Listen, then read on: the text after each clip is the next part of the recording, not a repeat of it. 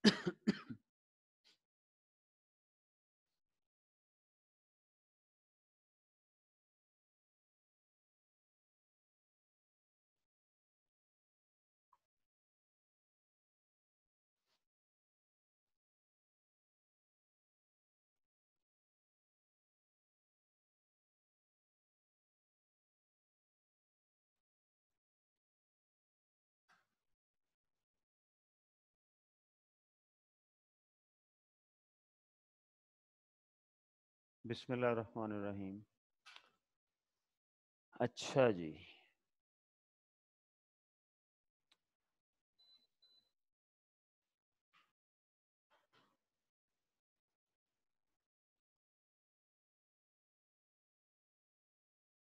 अच्छा जी, रिज़ल्ट आप लोगों का आया है, इन बच्चों का भी रिज़ल्ट आया है मेरा ख्याल, जो इस क्लास में बैठे हुए हैं। तो एक चीज़ तो इसमें ये डिस्कस करने वाली है कि रिज़ल्ट सी ए के आते, जाते रहते हैं। इनकी इतनी टेंशन नहीं लेनी चाहिए उस बच्चे को जिसने पढ़ के पेपर दिया होगा। आप कह रहे होंगे, मैं उलट बात कर रहा हूँ। मैं सही कह रहा हूँ। क्योंकि अगर उसने पढ़ा हुआ है तो अल्लाह ताला ने उसके अकाउंट में, अल्लाह ताला के यहाँ आपका एक अकाउंट खुला हुआ है। और आपकी जो मेहनत होती है, अल्लाह मियाँ अपने अकाउंट में क्रेडिट कर लेते हैं। अल्लाह मियाँ ने आपको वो वो मेहनत तो वापस देनी ही देनी होती है, लेकिन उसकी रहमतों के ख़जाने इतने बड़े हैं कि हम अपनी मेहनत नहीं क्लेम करते। हम कहते हैं कि अल्लाह मियाँ अपनी जनाब से हमें इतना दे दे, इतना दे दे कि जिसकी हम काबिल भी नहीं तो ऑब्वियसली जिसने पढ़ा हुआ है, अगर रिज़ल्ट में कोई गड़बड़ हुई है तो वो टेंशन ना ले। अल्लाह मियाँ ने आपके खाते में डाल दिया है और अल्लाह मियाँ ने ये आपको लौटाना है। शायद उसका टाइम अभी नहीं आया। टाइम कब आएगा, ये मैं और आप नहीं जानते। हमारा काम क्या है? हमारा काम मेहनत करना है, सो हम करते रहेंगे। अल्लाह ताला का एक अपना निज़ाम है, अपना सिस्टम है, जिसको इंसान नहीं समझ सकता। इंसान समझने से उसे कासिर है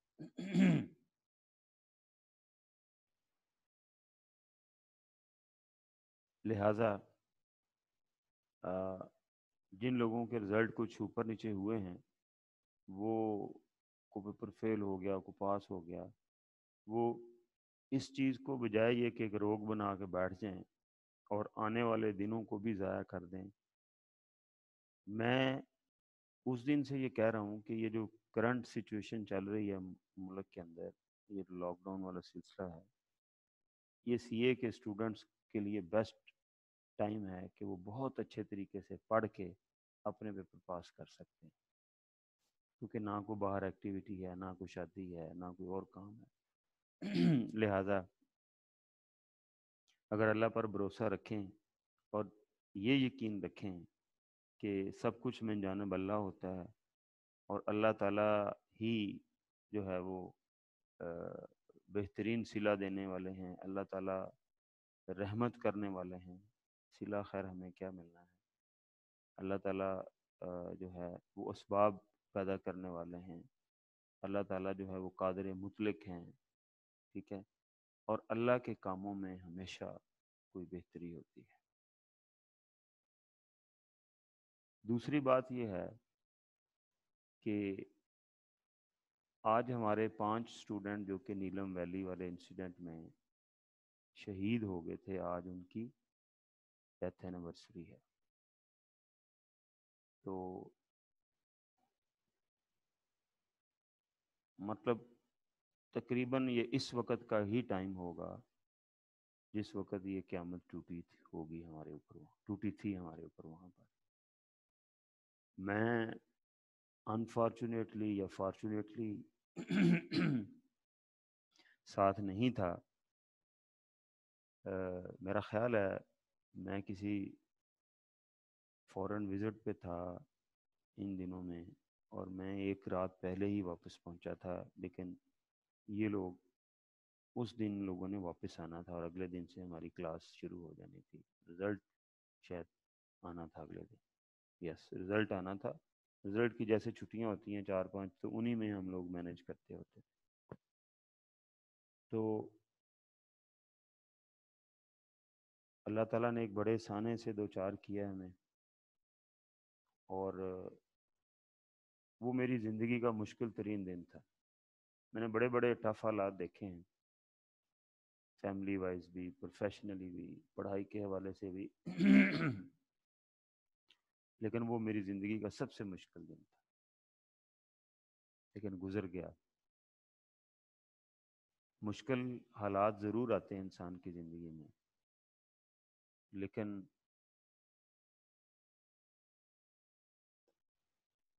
जो लोग साबित कदम रहते हैं, जो लोग ये समझते हैं कि ये मुश्किल भी अल्लाह ताला की तरफ़ से है और इसको टालना, इसका हल भी अल्लाह ने ही करना है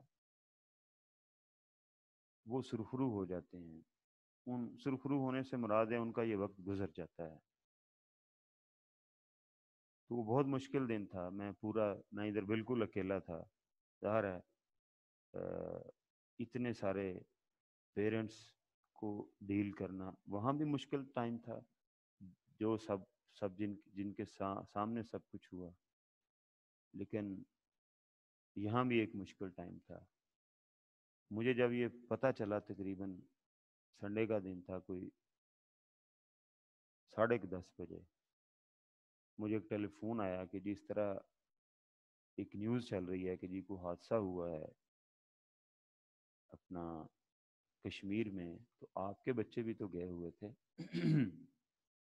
उस वक्त तक ये नहीं टेलीविज़न के ऊपर भी चला था कि जी कौन किस कॉलेज के बच्चे हैं, ये क्या हैं? तो then I got a call from Ahmed sahab and he told me कि जी, ये हो गया है। और उस वक्त तक उन्होंने बल्कि मुझे एक बच्चे की डेथ भी कंफर्म कर दी थी। तो मेरा इमीडिएट रिएक्शन मैं सबसे पहले, चूँकि मेरे बिल्कुल साथ रहते हैं, निशान और अहमद साहब तो मैं उनके घर गया, पहले तो उनके घर वालों को तसली दी। ज़ाहिर है, यही बनता था कि भी मेरी बात हुई है, दे आर ओके। उसके बाद अगला मेरा टास्क था कि मैंने पेरेंट्स को कैसे हैंडल करना तो अब मेरे पास दो रास्ते थे। एक रास्ता ये था कि मैं अपना फ़ोन बंद कर देता। कॉलेज तो बंद ही था संडे था। और खामोशी इख्तियार करता। एक डर और खौफ भी होता है कि यार पेरेंट्स का प्रेशर है, ऐसे हालात में बहुत कुछ हो जाता होता है। दूसरा ये था कि मैं, ये सिचुएशन हो गई है, मैं इसे फेस करूँ। तो मेरे अंदर ने यही मुझे मशवरा दिया कि मुझे इसे फेस करना चाहिए। अल्लाह ताला जो है, अल्लाह ताला की तरफ़ से ये सारा कुछ, कोई ऐसी चीज़ नहीं थी कि जिसके अंदर कोई हमारी गलती कोताही खामी थी। बिल्कुल एक ये नागहानी आफत की तरह ही ये इवेंट हुआ। तो इतनी देर में मेरा कज़न है इधर छोटा बच्चा बेटा है वो मामू का वो आ गया। आ, मैंने आशर से रबता किया। मैंने मेरे ऑफ़िस में सलमान खुर्शीद साहब होते हैं टैक्स मैनेजर हैं हमारे टीचिंग भी करते रहे हैं मैंने उससे रबता किया। एंड मैं कॉलेज आ गया। मुझे पता था कि फौरी तौर पर यहाँ पर मीडिया, ये, वो सब। तो खैर, मैं अकेला घर से निकला, मैंने अपने घर वालों को बताया और मैंने कॉलेज खोल के आके इधर मैं बैठ गया प्रिंसिपल ऑफ़िस के अंदर, इसी जगह के और खैर, उसके बाद फिर क्या हुआ, क्या उतार चढ़ाव, क्या एजेंसियाँ और पता नहीं क्या क्या खैर अल्लाह ताला ने हिम्मत दी, वो सारा मामला फेस किया। जिन लोगों के साथ, जिन पेरेंट्स के साथ ये मामला हुआ था, उन्होंने फेस कर लिया तो मेरी क्या औकात थी? तो लेकिन ये है कि अल्लाह ताला, मैं बताना ये चाह रहा हूँ कि जो कुछ हुआ वो भी मैंने जाने वाला था। अल्लाह ताला, अल्लाह की उसमें पता नहीं क्या बेहतरी थी, हमें नहीं पता आज तक चल सका। लेकिन बीइंग मुस्लिम ईमान का हिस्सा तो यही है। और उस टफ सिचुएशन को मैंने जो जो मतलब इधर हमने हैंडल किया, मैं आके फिर मैं भी आ गया, उसके बाद थोड़ी देर बाद आशर भी आ गया सलमान भी आ गया, मेरा छोटा भाई आ गया। खैर, फिर हम कुछ लोग जो थे वो यहाँ हम जमा हो गए। हमारे कुछ टीएस थे यहाँ पर, वो मौजूद थे, वो आ गए। तो कहने का मतलब ये है कि वो मुश्किल वक्त था, वो गुज़र गया। तो कोई भी मुश्किल मुश्किल वक्त जो है, वो अल्लाह ताला की तरफ़ से होता है वो गुजर जाता है। और हर मुश्किल के बाद आसानी है। इन माल उसके उसका। तो अल्टीमेटली कभी भी मुश्किल हालात के अंदर आपके हाथ पाँव नहीं भूलने चाहिए। आपको अल्लाह ताला की मदद के ऊपर भरोसा होना चाहिए। और हमारी दुआ है कि अल्लाह ताला उन पाँचों के पाँचों बच्चों को खलीक रहमत करे। अल्लाह मियाँ उनके दर्जात बुलंद करे। मतलब हमारा ईमान है कि वो शहीद हैं उस सफ़र में आ, उनके साथ हादसा पेश आया फिर पानी की जो मौत है उसके बारे में भी लिखा हुआ है। और उनमें से एक बच्चा बहुत प्यारा बच्चा अहमद था जिसकी तो हमें बॉडी भी नहीं मिल सकी। तो मैं रात से ना मैं बड़ा रंजीदा हूँ मतलब बड़ी तकलीफ़ है। और इतनी तकलीफ़ है कि बयान नहीं की जा सकती। तो आप सबसे मेरी गुजारिश है कि हम चीज़ों को आगे ले जाने से पहले ज़रा उन बच्चों के लिए दुआ कर लें सारे मिलके। बिस्मिल्लाह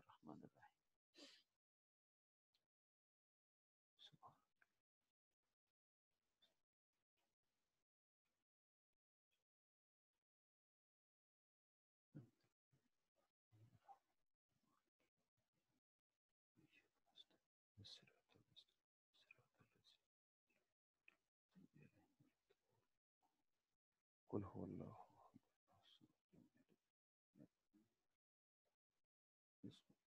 कुल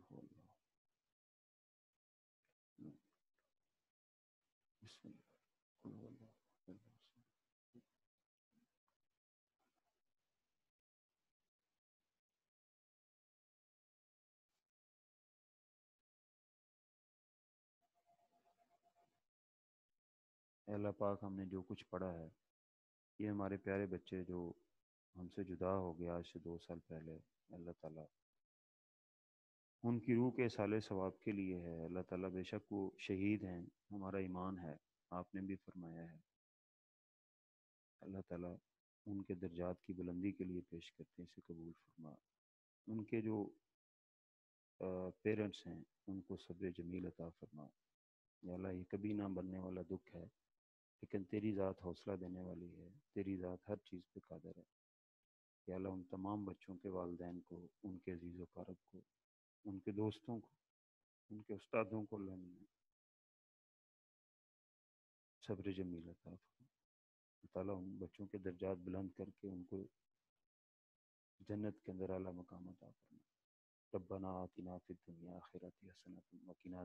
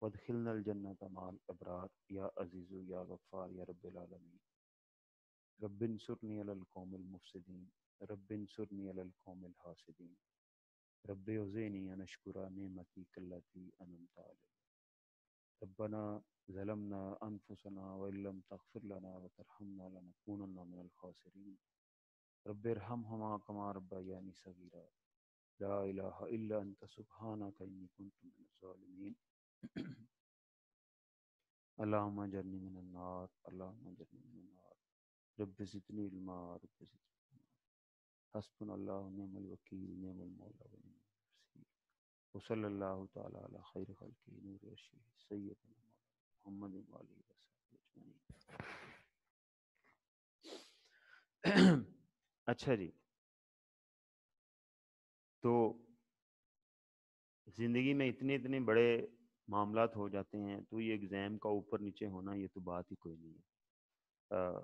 सिर्फ़ एहसास होना चाहिए कि यार मैंने पिछली दफ़ा मेरे से ये ये कमी रह गई है, मेरे में ये खामी थी, मैं इन गलत रस्तों पे चला हुआ था, मैं ये गलत काम कर रहा था, मेरी ये रूटीन गलत थी, लिहाजा मुझे उसे सही करना चाहिए ताकि अगली दफ़ा इंसान गलत कामों से इंसान तौबा कर ले तो अल्लाह ताला पिछले सारे मामला साफ़ कर देते हैं, ठीक है?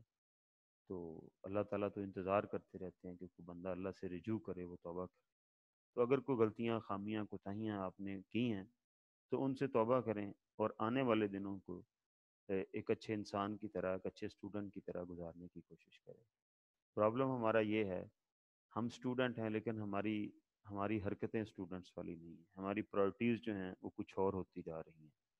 तो खुदारा खुदारा अपने लिए, अपने वालदेन के लिए, अपने मुस्तबिल के लिए। माँ बाप को कुछ नहीं चाहिए होगा, उन्होंने तो अपनी ज़िंदगी गुजार ली है। आपको अफोर्ड भी औखे सौखे होके करते रहेंगे, लेकिन आगे आपने भी वालदेन बनना है। आपने भी आगे आपकी ज़िंदगी पड़ी हुई है। तो इस हर चीज़ का दारो मदार आपके ऊपर है। जो बंदा लगा रहता है, ये सर नीचे करके, अल्लाह ताला उसे नवाज़ ही देते हैं। आजज इंसान और मेहनती इंसान का अल्लाह के यहाँ बड़ा मकाम है। ठीक है, वो कभी ऊंच नीच हो भी जाए तो मैंने बताया ना कि अल्लाह ने आपके खाते को क्रेडिट कर दिया है तो अल्लाह मियाँ ने वो आपको वापस करना है, आपके मुँह पे मारना है। अल्लाह ताला को क्या आपकी मेहनत की ज़रूरत है? और अल्लाह ताला दुनिया के सबसे बड़े मुनसिफ हैं, ये कायनात के सबसे बड़े मुनसिफ हैं, ये भी मैं आपको बात अक्सर कहता हूँ। तो ये कैसे हो सकता है कि वो किसी के साथ नाइंसाफ़ी करें? ऐसे नहीं हो सकता। आप मेहनत करें और अल्लाह मियाँ आपको मेहनत का फल ना दें, ये नहीं हो सकता। ठीक है? उसके कुछ टाइमिंग आगे पीछे हो सकती है, लेकिन ये है कि मेहनत शर्त है, ज़रूरी है। अब उन सारी चीज़ों को भूल भाल के, जो उन लोगों ने आगे अब चीज़ें पेपर लेके चलने हैं सोच समझ के तो वो अब जहाँ तक हम पढ़ चुके हैं अगर कोई उसमें हेजिटेशन थी तो उसको अब मज़ीद आठ दस दिन लगा के क्लियर कर लें, मेहनत कर लें। जिन्हें लग रहा था कि वो फेल हो जाएँगे और वो पास हो गए हैं तो वो अब पीछे हाफ़ हार्टेडली पड़ा हुआ था उसको अच्छी तरह कवर कर लें। अभी टेस्ट का एक सिस्टम शुरू करने लगे हैं इंशाल्लाह अनाउंस करेंगे। तो वो भी ऐसे ऑनलाइन ही होगा। तो कमर कस के आप फ्यूचर की तरफ़ देखें। ओके अच्छा जी हमने ये जो चैप्टर हम कर रहे हैं इसमें ग्रुप में शायद एक बच्चे ने ए, अपना कंसर्न शो किया हुआ था कि सर ये जो क्वेश्चन है ये बड़े मतलब हमें सिंपल लग रहे हैं। भाई टॉपिक ही सिंपल है, इसके अंदर कोई ऐसी कॉम्प्लेक्सिटी इन्वॉल्व नहीं है।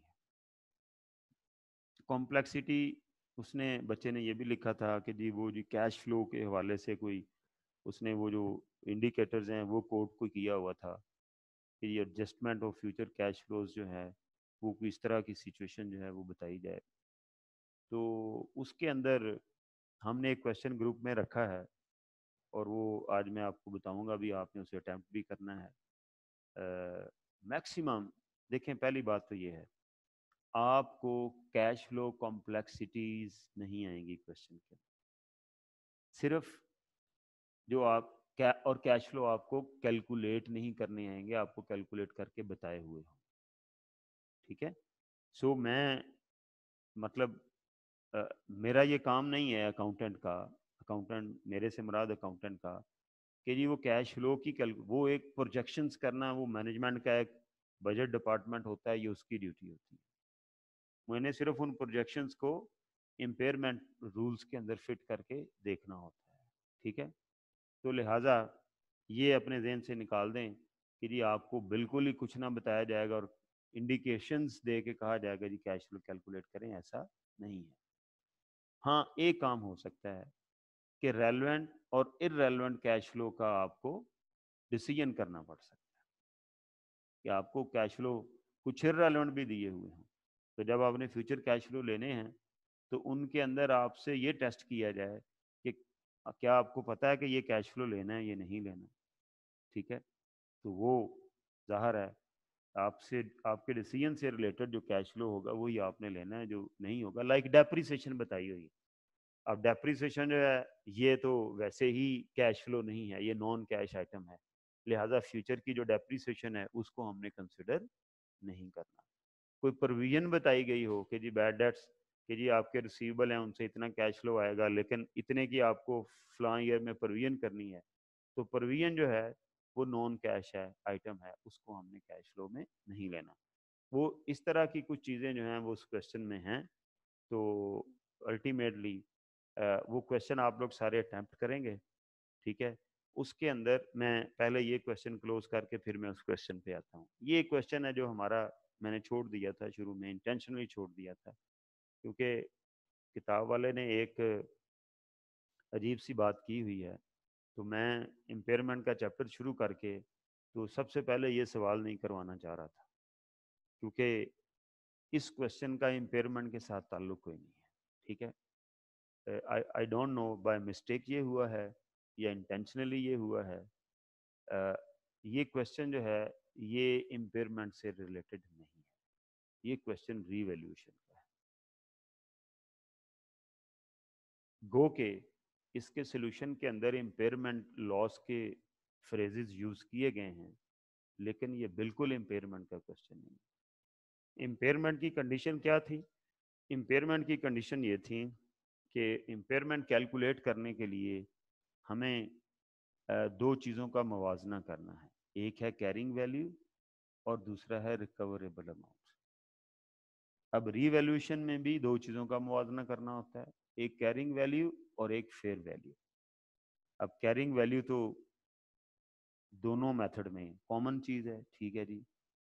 लेकिन जो रिकवरेबल अमाउंट और फेयर वैल्यू है रिकवरेबल अमाउंट एम्पेयरमेंट में यूज़ करनी है और फेयर वैल्यू जो है वो रीवैल्यूशन में यूज़ करनी है, जो कि रीवैल्यूशन बाकी वो ऑप्शनल है, ये कंपलसरी है, वो ये रन पे होनी रिवोल्यूशन कभी भी हो सकती है, ये ये रन पे होनी है, वो अलहदा चीज़ें बट कैलकुलेशन से रिलेटेड जो चीज़ें हैं, जिससे ये तयन होना है कि ये रिवोल्यूशन ही है या इम्पेयरमेंट है।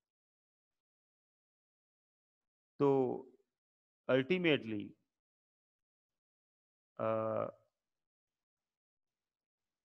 रिकवरेबल अमाउंट की कैलकुलेशन करनी है इम्पेयरमेंट के लिए।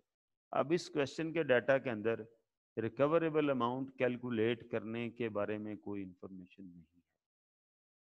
वो इंफॉर्मेशन क्या है? Sale proceed minus cost of disposal number one number two value and use which ever is higher from these two that will your recoverable amount and then you will compare that recoverable amount with carrying value and any excess of carrying value over the recoverable amount will be the impairment. अब इस question के data का जरा जायजा लेते हैं ABBA Limited conducts its activities from two properties, a head office in the city center and property in the countryside. countryside कहते हैं शहर से बाहर को खुली जगह को countryside बोलते हैं where staff training is conducted. Okay. Both properties were acquired on first April 2013 कोई मसला नहीं ये उसकी डेट ऑफ एक्विजिशन बताई हुई है and had estimated life of 25 year with no residual value ठीक है जी समझ आ रही आ रही हमें the company has a policy of carrying its land and building at current values however current values के ऊपर उन्होंने इसको लेना है। यही, एक तो यहाँ से ये पता चल रहा है। करंट वैल्यू का मतलब क्या होता है? Fair value. ठीक है? तो एक तो बिल्कुल यहीं से पता चल गया कि यहाँ पर इंपेयरमेंट का कोई सीन नहीं है। ठीक है? ये करंट वैल्यूज़ का मतलब है फेयर वैल्यू पे लेना। और फेयर वैल्यू कहाँ यूज़ होती है? सिंपल फेयर वैल्यू वो यूज़ होती है रिवैल्यूशन के अंदर। However until recently property prices had not changed for some years. On 1st October 2015 the properties were revalued by the firm of surveyors यहाँ से भी पता चल रहा है। रिवैल्यूशन हुई है। ठीक है? Details of details of this sorry and the original cost are ठीक है? दोनों की लैंड और बिल्डिंग अलहदा अलहदा कर दी गई। हेड ऑफ़िस लैंड की कॉस्ट इतनी है और उसकी रिवैल्यूशन हुई है, इतन तो वो रीवैल्यूड अमाउंट उतनी है। बिल्डिंग की कॉस्ट इतनी है रीवैल्यूड अमाउंट उतनी है, ठीक है? इस तरह ट्रेनिंग प्रेमिस की कॉस्ट इतनी है और रिवोल्यूशन हुई है तो इतनी है, उसकी बिल्डिंग कितनी दोनों की लैंड अलहदा अलहदा दोनों की बिल्डिंग अलहदा अलहदा ठीक है? The fall in the value of the training premise is due to mainly अब क्या पहले तो ये कन्फर्म करें कि अच्छा दूसरी बात है कि इम्पेयरमेंट का तस्वुर वहाँ है जहाँ पर कैरिंग वैल्यू से वैल्यू कम होनी है। ठीक है? तो जब हम इन दोनों की लैंड का तो इश्यू कोई नहीं है। लैंड, ये इतने की कॉस्ट है तो ये रिवोल्यूशन सरप्लस हो रहा है, दो लाख का। इसकी इतनी कॉस्ट है, इसमें पचास लाख का सरप्लस हो रहा है। लिहाजा लैंड तो अपवर्ड रिवैल्यू हो रही है इम्पेयरमेंट का कोई किस्सा ही नहीं बिल्डिंग के अंदर मूवमेंट कैलकुलेट करने के लिए मुझे इसकी कैरिंग वैल्यू निकालनी पड़ेगी। ठीक है? वो कितनी बनती है जी? बारह लाख में से आप डेप्रिसिएट कर दें उसको, कितने सालों के लिए? तेरह को खरीदा है ना? तो चौदह, पंद्रह हाँ जी, दो साल हो गए। मेरा ख्याल ढाई साल बनते हैं फ़र्स्ट अक्टूबर तक। स्ट्रेट लाइन बेसिस के ऊपर ढाई साल की डेप्रिसिएशन माइनस करके बताएँ, ये बिल्डिंग की कैरिंग वैल्यू कितनी आ जाती है? दस लाख, ये आ गई जी, दस लाख अस्सी हज़ार, ये मेरे पास जगह कम है, कोशिश करते हैं ये आगे पूरी, ठीक है? अब दस लाख अस्सी हज़ार इसकी ये आ गई कैरिंग वैल्यू और ये इसकी फेयर वैल्यू है तो ये भी अपवर्ड है, लिहाजा यहाँ भी इम्पेयरमेंट का कोई तस्वुर नहीं है। इम्पेयरमेंट पहली बात तो सबसे पहली बात ये जज करना है कि कैरिंग वैल्यू से कम हो रही है या नहीं। अब ये देखिएगा, ये जो नौ लाख है, इसकी जो है वो कैरिंग वैल्यू कितनी आ रही है, डेप्रिशिएट करें इसे भी हम। जी। नौ लाख में से इसको भी पच्चीस साल इसकी लाइफ है, multiplied by two point five करके माइनस कर दें या डायरेक्ट बाई आठ लाख दस हज़ार। ये रहा, आठ लाख दस हज़ार। अब यहाँ आए ज़रा। ये देखें, ये आठ लाख दस हज़ार है और ये इसकी रिवैल्यूशन हुई है छः लाख। ये रहा। यहाँ पर लॉस आ रहा है। ठीक है? दो लाख दस हज़ार का। कितने का? दो लाख दस हज़ार का। अब ये दो लाख दस हज़ार इंपेयरमेंट हो सकती है। कैसे? अगर ये जो करंट वैल्यू है, ये क्या हो? ये रिकवरेबल अमाउंट हो। ठीक है? और रिकवरेबल अमाउंट ये कैसे हो सकती है? अगर इसकी वैल्यू इन यूज़ का डाटा दिया हुआ हो हम वो कैलकुलेट करें और हम इसकी आ, कहें कि current value minus cost of disposal cost of disposal nil समझ लें फ़र्ज़ करें। तो करंट वैल्यू तो ये दे दी ना छह लाख रुपया। इसका मतलब एक फैक्टर पता है रिकवरेबल अमाउंट कैलकुलेट करने का। वो क्या है कि उसकी अपना fair value minus cost of disposal if cost of disposal is assume to be zero then fair value is fair value एक एक फैक्टर हो गया। दूसरा फैक्टर क्या है? वैल्यू इन यूज़ अब वो मुझे नहीं दिया हुआ डाटा के अंदर। ठीक है? मैं आगे भी क्वेश्चन पढ़ता हूँ, देख लेते हैं अगर दिया हुआ होगा तो। ठीक है? वो मुझे नहीं दिया हुआ। लिहाजा मैं वो जो higher of fair value less disposal cost और वैल्यू इन यूज़ वाला फैक्टर है, मैं वो कैलकुलेट ही नहीं कर सकता, जिसे मैंने कैरिंग वैल्यू से कंपेयर करना है। लिहाजा ये इम्पेयरमेंट नहीं है। ये क्या है? ये डाउनवर्ड रिवैल्यूएशन है। ठीक है? समटाइम ये जो वैल्यू के अंदर कमी आई है दो लाख दस हज़ार की, यानी इसकी बुक वैल्यू कितनी है कैरिंग वैल्यू आठ लाख दस हज़ार, और इसकी फेयर वैल्यू कितनी है? छह लाख। ठीक है?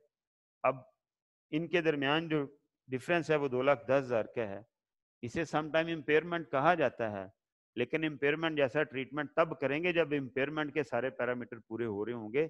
अदरवाइज़ ये इम्पेयरमेंट जो है this will be this is tantamount to this will be equal to this will be like downward revolution not like this will be downward revolution understand क्योंकि आगे पढ़ते हैं, अगर कोई वैल्यू इन यूज़ का डाटा दिया है तो फिर उसके ज़रिए कंपैरिजन करके अगर ये हायर बनता है तो ये फिर फिर तो बात सही है। लेकिन अगर मुझे वैल्यू इन यूज़ का डाटा ही नहीं दिया हुआ तो मैं फिर ये छह लाख मेरी रिकवरेबल अमाउंट नहीं है ये सिंपली क्या है? फिर वैल्यू ठीक है? देखें.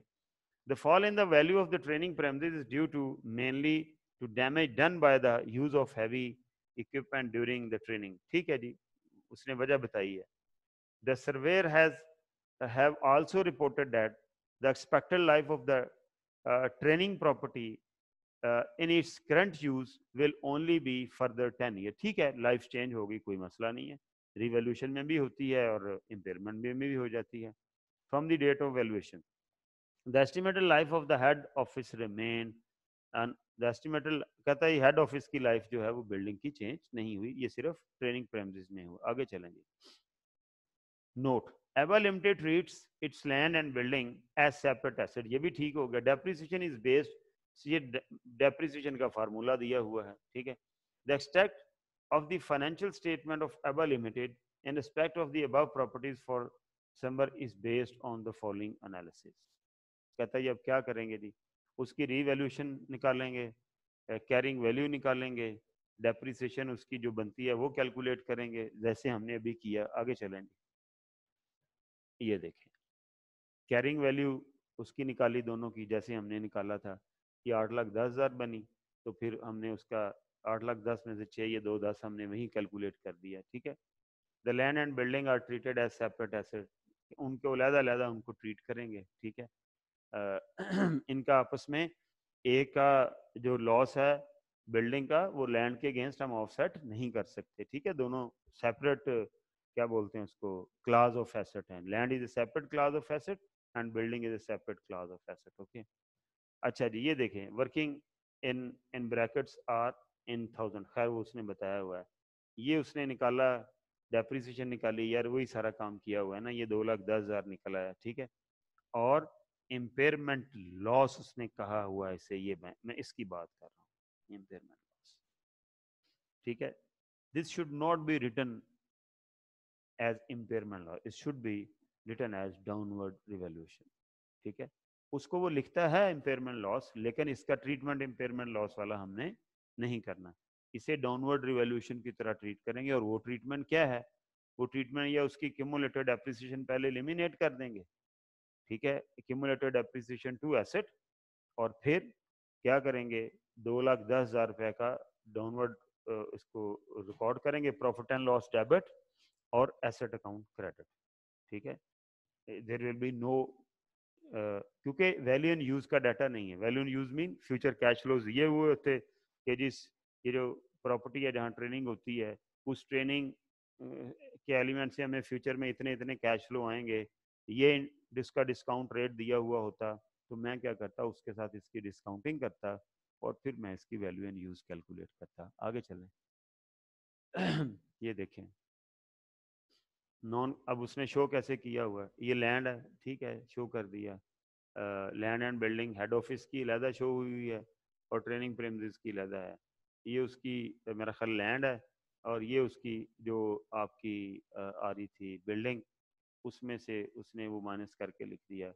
और इसी तरह ट्रेनिंग प्रेमजिस के अंदर आ, ये दोनों थर्टी थर्टी क्या चीज़ें हैं? डेप्रीसीशन है ठीक है? ये आगे, आगे फर्दर पीरियड की डेप्रीसीशन है। ठीक है जी? और रिवोल्यूशन रिज़र्व क्या आया जी? हेड ऑफ़िस लैंड का इतना रिवोल्यूशन रिज़र्व आया बिल्डिंग का इतना आया, ठीक है? ट्रेनिंग प्रेमिस की लैंड का इतना आया, ठीक है? ये रिवोल्यूशन रिज़र्व आ गया।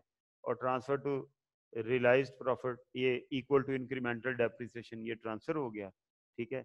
और बाकी रिज़र्व जो है वो टोटल रिज़र्व इतना क्रिएट हुआ, पाँच लाख बीस हज़ार छः हज़ार is depreciation equal to incremental depreciation है, ये इंक्रीमेंटल डेप्रिसिएशन है तो पाँच लाख चौदह हज़ार जो है वो रिवोल्यूशन रिज़र्व अकाउंट में शामिल हो जाएगा, ठीक है?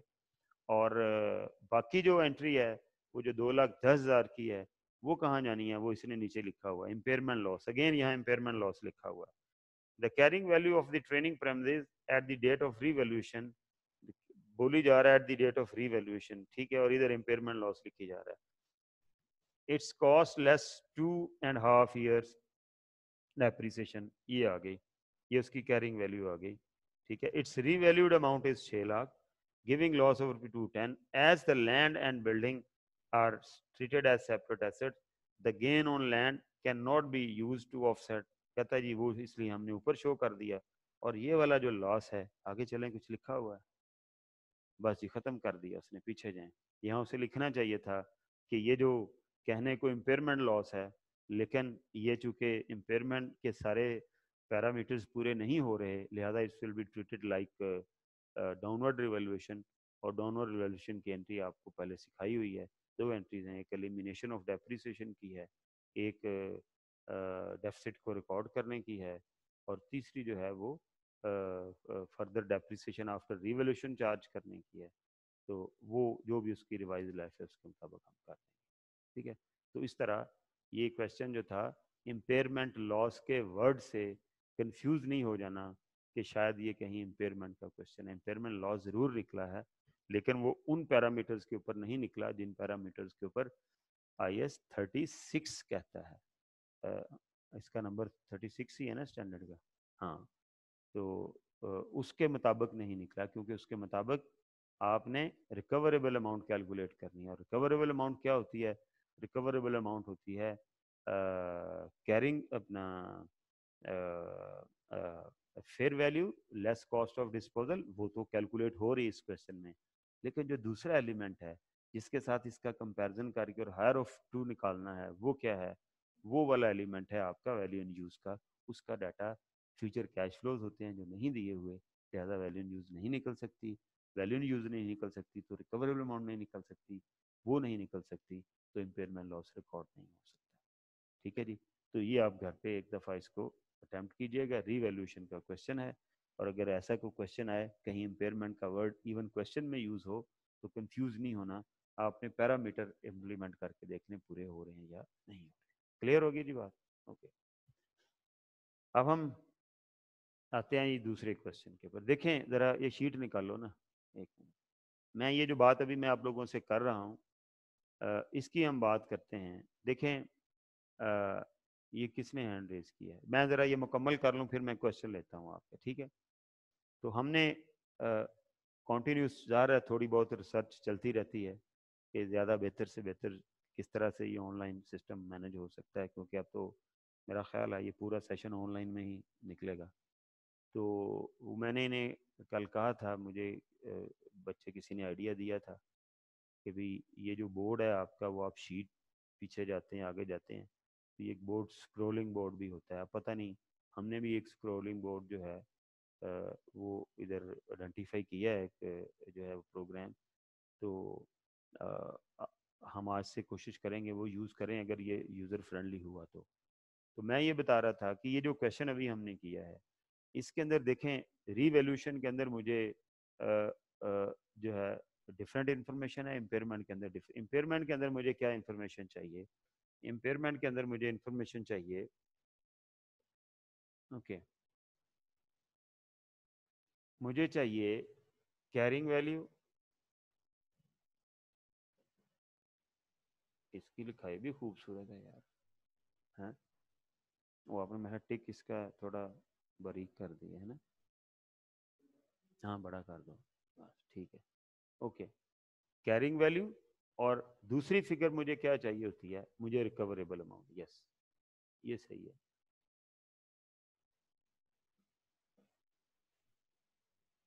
ठीक है? और ये क्या है?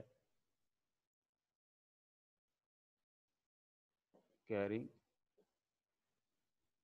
value. ये मुझे दो फैक्टर चाहिए होते हैं। ठीक है? और इम्पेयरमेंट लॉस क्या होता है?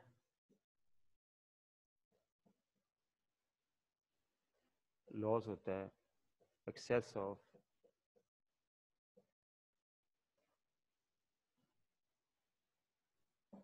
carrying value over the recoverable amount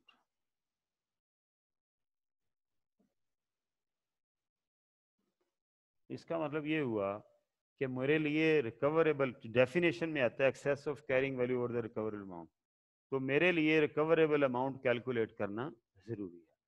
अब रिकवरेबल अमाउंट क्या है? रिकवरेबल अमाउंट ये है, ये देखें, ये हम ऊपर यस गुड ठीक है? तो रिकवरेबल अमाउंट जो है, मैं, वो इतनी मुझे आईटी आती तो नहीं है, लेकिन आईडीए उडीए ज़ाहिर है, जो बंदा नलायक होता है, वो अपना सर ना मारे तो वो फिर पीछे रह जाता है। तो इसलिए सर सुर मारते रहते हैं। इन्हें आके बता देते हैं कि यार ये भी हो रहा है। रिसर्च फिर सारी इन लोगों की होती है कयूम साहब की ठीक है? आ, अली साहब हैं इधर इन लोगों की। तो आइडिया थोड़ा सा हमने देना होता है। तो ये मेरा ख्याल हमारे लिए थोड़ी आसानी हो जाएगी खासकर जब हम लेंथी क्वेश्चन पे जाएँगे कैश फ्लो वगैरह के ऊपर तो this will help a lot okay अब रिकवरेबल अमाउंट कैसे कैलकुलेट करनी है? दो फैक्टर कैलकुलेट करने हैं। ए और बी ए फैक्टर क्या है जी? ए फैक्टर है fair value less cost of disposal जिसे मैंने आपको कहा था, इसको नेट फेयर वैल्यू क्या लिया करें, ठीक है ना? और बी क्या था? बी फैक्टर था वैल्यू इन यूज़ अब ये जो फेयर वैल्यू है ये तो रीवैल्यूएशन की तरह सर्वेयर बता देगा आपको, या मार्केट की प्राइस है, ठीक है? लेकिन वैल्यू इन यूज़ क्या है? ये this is equal to present value of future cash flows और अगर ये नहीं पता तो वैल्यू एन यूज़ नहीं निकलेगी वैल्यू एन यूज़ नहीं निकलेगी तो मैं इन दोनों में से जो हायर है वो नहीं कैलकुलेट कर सकूँगा। ठीक है? ये देखें ये देखें, क्या हुआ? ये देखें, हमने यहाँ कैलकुलेशन की ये वाली।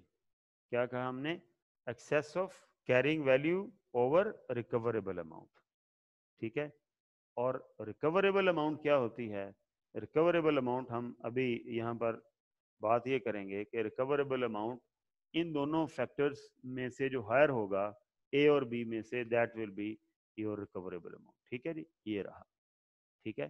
तो recoverable amount is higher of वो यहाँ हम लिख लेते हैं कि recoverable amount is higher of ये थोड़ा सा प्रैक्टिस करनी पड़ेगी ना।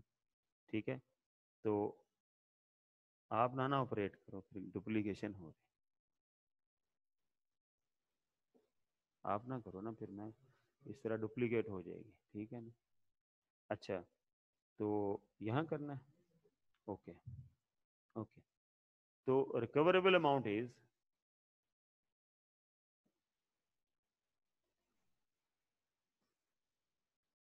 amount is higher of A and B ये जो ऊपर मैंने ए एंड बी लिखा ठीक है? क्या लिखा है एंड बी? ये देखें ये ए है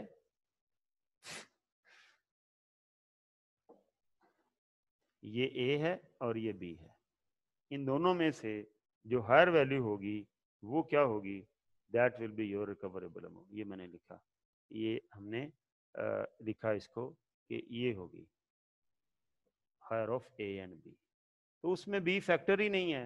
लिहाजा रिकवरेबल अमाउंट कैलकुलेट ही नहीं हो सकती।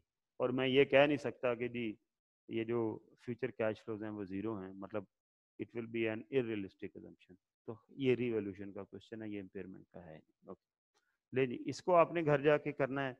और जो आपका मेजर काम है, वो जो क्वेश्चन हमने आपको ग्रुप में दिया हुआ है, आपने उसे अटैम्प्ट करना है। अब उसको अटैम्प्ट करने के लिए मैं कुछ हिंट दे देता हूँ। निकालें जी क्वेश्चन किधर है?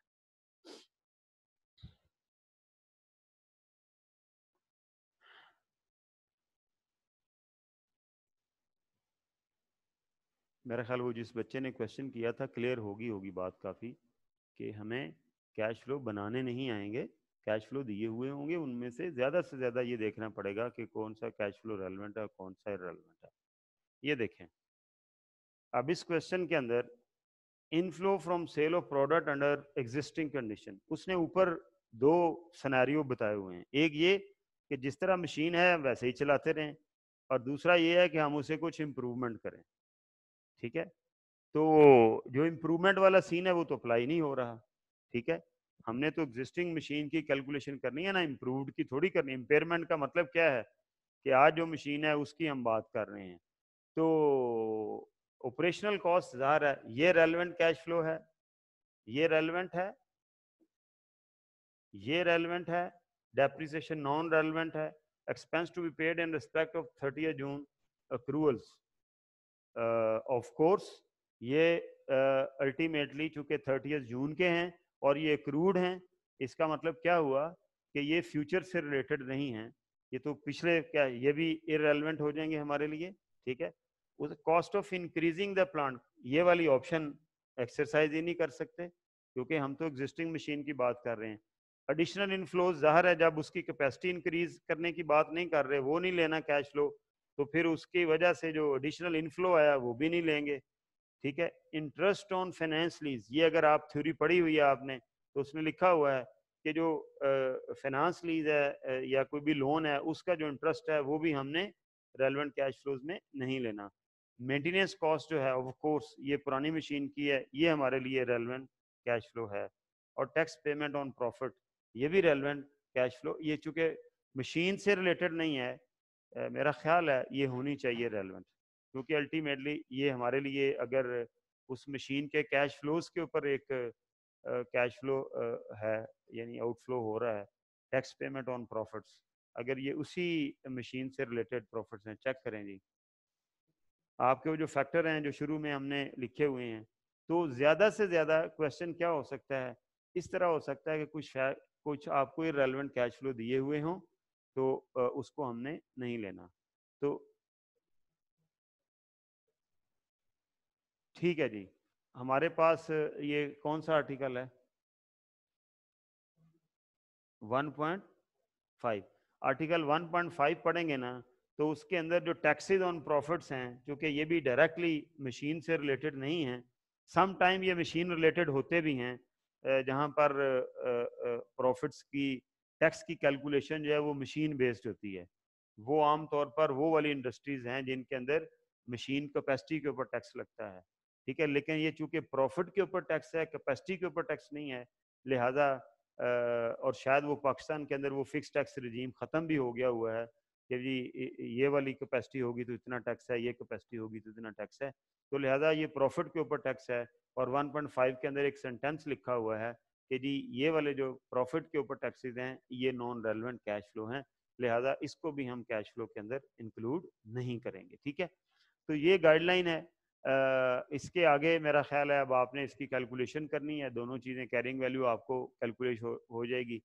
Fair value less depreciation fair value less cost of disposal calculate हो जाएगी और ये कैश फ्लो यूज़ करके ये आगे उसने आपको मज़ीद डाटा दिया एप्लीकेबल डिस्काउंट रेट दिया हुआ है।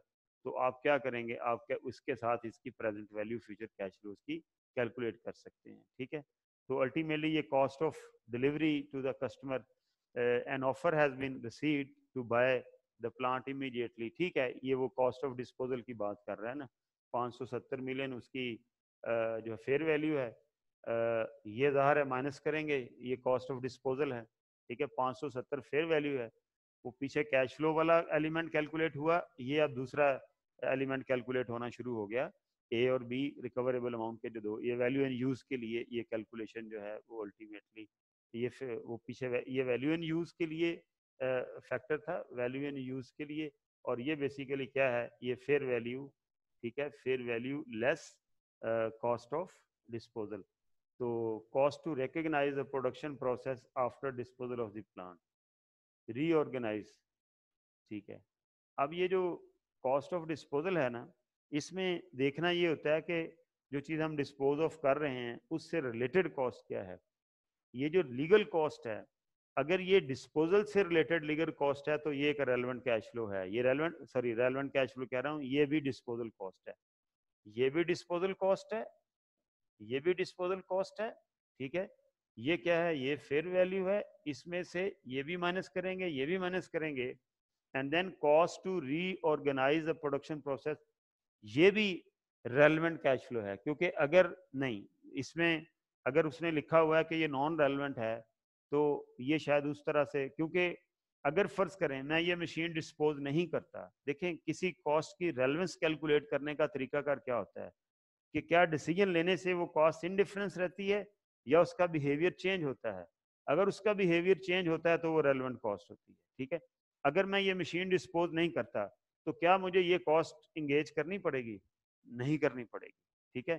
तो लिहाजा इसके ऊपर दो राय हैं। कुछ लोग ये भी कह सकते हैं कि जी ये चूँकि डायरेक्टली मशीन से रिलेटेड कॉस्ट नहीं है, ये इस डिसीज़न की कॉस्ट तो है, लेकिन मशीन से रिलेटेड डिस्पोजल कॉस्ट नहीं है, लिहाजा हम इसे इग्नोर कर सकते हैं। लेकिन अगर हम ये ज्यूम कर लें कि ये मशीन की वजह से कॉस्ट आई है तो फिर अल्टीमेटली ये वाली कॉस्ट जो है, इसके ऊपर डिबेट है। आप अजम्पन दे के ले भी सकते हैं, इसे निकाल भी सकते हैं। ज़ाहिर है पेपर में जब बैठे होंगे, अभी ये डिस्कशन होगी, अब ये वाली डिस्कशन यूज़ करेंगे। तो यहाँ पर आपके लिए जो एक डिसीज़न पॉइंट वो ये रखें कि अगर तो वो उस मशीन से रिलेटेड कॉस्ट हो डिस्पोजल तो वो माइनस कर दें, ठीक है? अगर मशीन से रिलेटेड ना हो, ठीक है? उस प्रोसेस और प्रोसेस ऑफ़ प्रोडक्शन से रिलेटेड हो तो फिर उसे डिस्पोजल कॉस्ट के तौर पर ना लें। तो अब आप इसको भी डिस्पोजल कॉस्ट नहीं लेंगे, यानी 570 माइनस फिफ्टी ये क्या, इन दोनों, ये क्या आ जाएगी? ये आपकी आ जाएगी एक फैक्टर आ जाएगा। और दूसरा फैक्टर वैल्यू इन यूज़ वो कैश फ्लो दिए हुए हैं इरेलीवेंट निकाल देने आपने। और उसके बाद फिर आप इसकी रिकवरेबल अमाउंट और उसका फिर कंपैरिजन फेयर वैल्यू से। कल आप इस क्वेश्चन को अटैम्प्ट करके आएँगे। हम इन ताला कल इससे आगे चलेंगे। आप लोगों का कोई क्वेश्चन है तो आप पूछ सकते हैं ताकि कल फिर हम इन ताला इससे आगे चलेंगे। जी मोहम्मद हसन। जी अस्सलाम sir.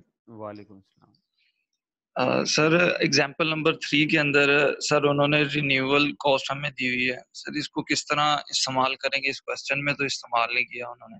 Renewal cost relevant cost है। ना इसलिए नहीं किया वो। सर ये कौन सी कॉस्ट होती है ये? रिन्यूअल कॉस्ट जो है मतलब जो आप समझ लें कि पेंट करवा दिया इस तरह की जो कॉस्ट होती है। ठीक है सर इसी के अंदर लिखा हुआ है कि an independent valuer has estimated the value of machine D at 130 million sir ये जो 130 मिलियन उसने वैल्यू ने एस्टिमेट किया सर इसका भी कहीं पे कोई यूज़ नहीं है। उसकी क्या वजह? ये वो क्वेश्चन है जिसमें मैंने आपको बताया था कि उसके अंदर उसकी जो वैल्यू इसलिए नहीं हम ले रहे क्योंकि उसकी एक्टिव मार्केट एग्जिस्ट नहीं करती। जी ठीक। सर एक्टिव मार्केट एग्जिस्ट ना करती हो तो उसकी रिवैल्यूएशन तो भी नहीं होती? नहीं उसकी कोई उसका उसका कोई इम्पैक्ट ही नहीं है फिर। जी सर ठीक है। सर इसके बाद ये एमसीक्यूज आपने सर दिए थे पंद्रह करने के लिए। एमसीक्यूज के ऊपर हम कल बात करेंगे। आपने आज एक तो ये क्वेश्चन करना है ये जो मैंने हमने ग्रुप में रखा हुआ है व्हाट्सएप ग्रुप में वो और प्लस अगले पंद्रह एमसीक्यूज आपने करके आने हैं।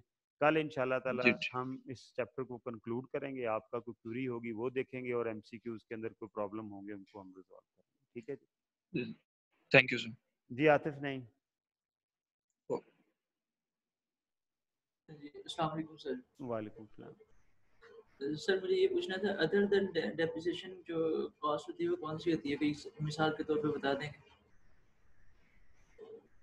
अदर देन डेप्रिसिएशन कॉस्ट मतलब वो ये कह रहा है कि जो आपके डिसीज़न से रेलिवेंट ना हो कोई भी ऐसी कॉस्ट मसलन तो जैसे तो आपने कहा था ना वो रेलिवेंट है इसमें। आपने कहा था डेप्रिसिएशन तो रेलिवेंट हो जाएगी। इसी क्वेश्चन में जो आपने हाँ इसी क्वेश्चन में एक और भी रेलिवेंट कॉस्ट है। वो क्या है भला? कि जी एडिशनल कैश इनफ्लोज जो हैं जब आप मशीन को रिन्यू करते हैं और एडिशनल कैश आउटफ्लोज जो उसकी वजह से तो वो दोनों ही रेलिवेंट है। मैंने यहाँ क्रॉस किया। जी तो अदर देन डेप्रिसिएशन रेलेवेंट है ये कौन सी होंगी? अदर देन डेप्रिसिएशन कॉस्ट कौन सी होंगी? यार मैं आप बता तो आपको रहा हूँ कि अदर देन डेप्रिसिएशन जो कॉस्ट होती हैं वो आपकी एडिशनल कैश फ्लोज इनफ्लोज हो सकते हैं एडिशनल कैश आउटफ्लोज हो सकते हैं ठीक है? कोई एडिशनल टैक्सेस हो सकते हैं। वो भी डेप्रिसिएशन की तरह जो है वो इरेलीवेंट होंगे उनको भी हम नहीं लेंगे। डेप्रिसिएशन इसलिए नहीं ले रहे कि रेलिवेंट तो है लेकिन नॉन कैश है वो कैश आउटफ्लो नहीं हो रहा। लेकिन बाकी जो मैंने मिसालें दी हैं वो नॉन कैश तो नहीं है वो कैश फ्लोज हैं। लेकिन चूँकि वो रेलिवेंट हमारे डिसीज़न से नहीं इसलिए हम उन्हें नहीं ले ठीक है जी थैंक यू वेरी मच कल इंशाल्लाह ताला हम इससे आगे चलेंगे। अल्लाह ताला आपको अपनी ईमान में रखे। थैंक यू ये उसने गलत किया